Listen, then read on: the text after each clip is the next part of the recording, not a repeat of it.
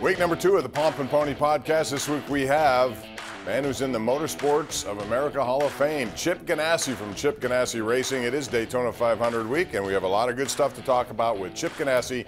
This thing drops on Friday. You can get it kdk.com, 937thefan.com, or any place you get your podcasts.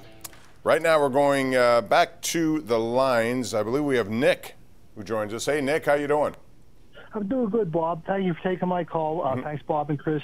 I have a question. Why do you guys think that Rutherford decided to leave? And the reason why I'm asking the question because it kind of relates to why did they bring in these two particular guys, Hextall and Burke? What do they represent that's different as far as a direction is concerned? Yeah, Chris, we've debated that. I still don't have a firm answer on it, other than obviously there was a disagreement.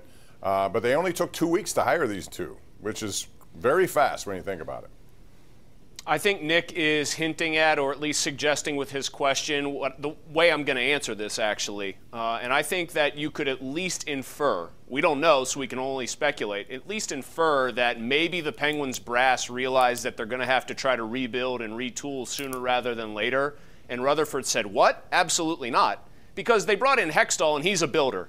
And then the Burke thing almost gets stapled on a couple days, you know, two days ago, whatever it is, because Mario Lemieux on a whim maybe says, hey, we can bring this guy in. He'll be good with the corporate sponsors, et cetera. We're going to need to make money again when the pandemic is finally fully under control. Uh, I think it's pretty, pretty clear if you want to be a speculator that Jim Rutherford thought win, win, win right now, do whatever I've got to do, empty it all out, and the Penguins are starting to ease away from that mindset. And Burke also is very good with the media, is not afraid to meet with the media, say anything, and back it up, or at least challenge people. And Hextall is just very much uncomfortable in those situations. So he can take that responsibility away from Ron Hextall as well. But I think it is very interesting. They do want to, they say they want to keep winning and try to win, but they're also, and Hextall said it a number of times yesterday, that he has a, an eye on the future. And he should have an eye on the future because ultimately that future is going to get here. And I think all teams that think about that in advance when you're supposed to, you can you can uh, you know kind of lessen the impact of going from very good to very bad, and that happens a lot in sports. So we'll see. Let's go to Bill real quick, who joins us on line two. What's up, Bill? How you doing? Hey guys, how are you? Good, thanks.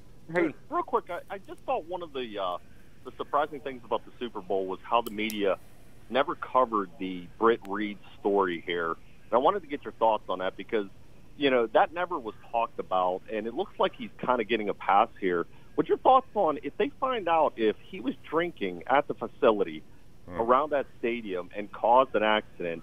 I mean, how detrimental is it to Andy Reid's career? Because this guy has had trouble with his family. It just seems like yeah. football's the only. Well, he was. Britt, Britt Reid's a grown man, though. Like to me, it's and he was not, put by the way on administrative leave. Just so you know, he was put he, on administrative leave if he was, I don't think we, by the way, like gave it a pass here. We're in Pittsburgh. I think we mentioned it.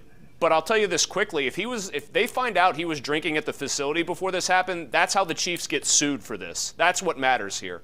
Because if they find that out and that actually happened, the Chiefs are very much uh, on the hook for this more than they otherwise would be. But uh, it's an ugly story. It is, and, and here's the thing maybe why I didn't get as much coverage as you would have liked is because at the time they haven't come up with a, a, police report on it yet. It's just speculation. It's you know what the report indicated at first, and that's it. There's not much else to go about, and you don't legally want to put yourself in a position of commenting about something that you really don't know yet. And we're out of time on that note. Chris, thanks as always. We'll see you again coming up next week, and that's going to do it for our program here tonight. Thanks for joining us. Back on the air tomorrow, 10:35. Get your calls in early. We'll take them right here on the Ireland Contracting Nightly Sports.